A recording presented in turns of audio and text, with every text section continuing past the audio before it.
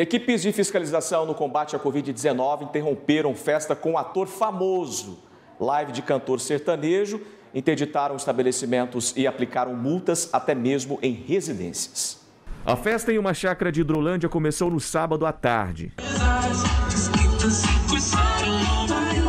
Os convidados postaram diversos vídeos em suas redes sociais. Um deles, o ator Henri Castelli. As pessoas que aparecem estão sem máscara.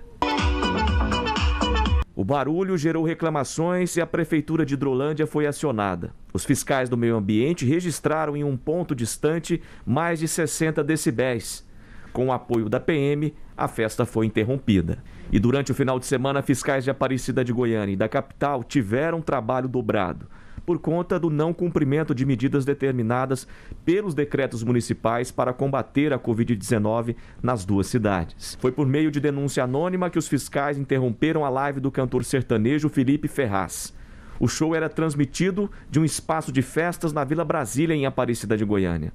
O local já havia sido interditado pela prefeitura por irregularidades. Estava impedido de realizar qualquer tipo de evento. Uma mega estrutura de sonorização e iluminação foi montada e mais de 130 pessoas, entre equipe profissional e convidados especiais do cantor, compareceram. O espaço foi multado por reincidência em 11 mil reais e interditado novamente. As 130 pessoas foram multadas em 111 reais pelo não uso de máscara, de acordo com os fiscais.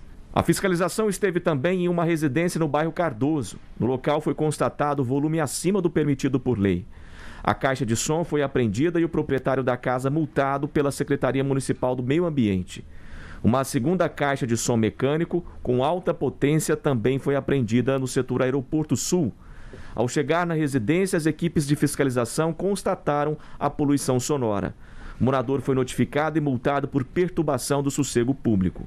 Em Goiânia, esse bar no setor marista, que estava funcionando fora do horário permitido, foi fechado. Bar aqui no setor marista funcionando em desacordo com o decreto, fora do horário. Os clientes aqui estavam escondidos, aqui o bar estava com a porta fechada. Finalidade de burlar os trabalhos da fiscalização. A fiscalização também atuou depois de receber denúncia de aglomeração em uma distribuidora no setor Vila Redenção. Foram fechadas também distribuidoras de bebidas nos setores Bueno e Leste Universitário, que funcionavam fora do horário permitido.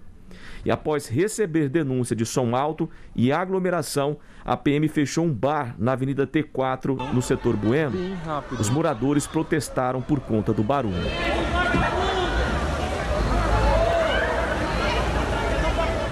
É porque enquanto os comerciantes são sacrificados com o fechamento dos estabelecimentos por várias e várias vezes, essas pessoas ficam se aglomerando, provocando arruaças. Claro, você viu a revolta aí desses moradores diante de toda a barulheira e aglomeração aí no local.